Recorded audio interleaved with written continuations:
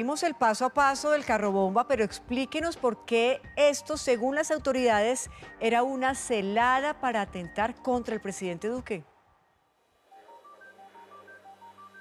Pues Patricia, usted lo ha dicho, eso fue como un señuelo. El ataque con carrobomba a la brigada en Cúcuta fue lo que ellos utilizaron, los que los terroristas utilizaron para captar la atención del presidente Iván Duque para que él se desplazara días después hacia Cúcuta, en donde se cometería el atentado final, que era disparar con ráfagas de fusil el helicóptero en donde él se movilizaba junto con su comitiva presidencial. Conocimos un documento que sería la hoja de ruta de todo este plan, de todos estos que se cometieron allí, en donde se encontraron mapas, puntos estratégicos en donde podrían ubicarse los francotiradores y hasta cuánto dinero habrían invertido.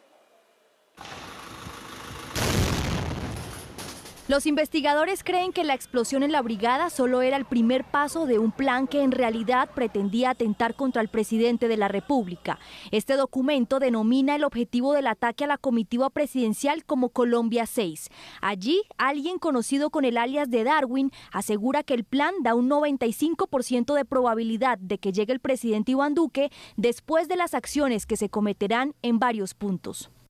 Y así fue. Diez días después del atentado a la Brigada 30 del Ejército, el mandatario visitó Cúcuta y allí se cometió el atentado contra el helicóptero en el que él viajaba.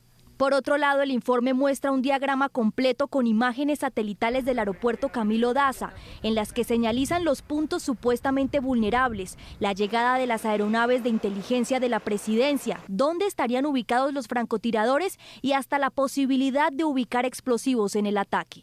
También hay información de una parte de la inversión que se habría realizado y que involucraría a uniformados de la policía. Camarada, para la operación Colombia 6 necesito comprar dos radios VHF frecuencia aérea y marítima, valor aproximado de 12 millones de pesos cada uno.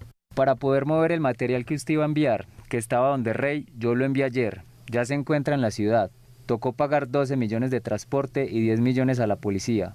Ya el material se encuentra en nuestras manos y seguro para comenzar la ofensiva. Según el director de la policía y el ministro de Defensa, el Frente 33 de las disidencias de las FARC está detrás de este atentado, que se habría ordenado y planeado desde Venezuela. Las órdenes directamente realizadas desde campamentos en Venezuela se dio y se coordinó toda la actividad de transporte del material explosivo, los dineros.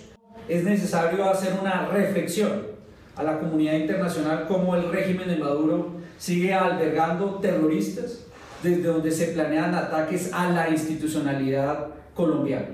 Entonces, las autoridades concentran sus esfuerzos en capturar a alias John Mechas, cabecilla de esta disidencia y considerado el cerebro del ataque.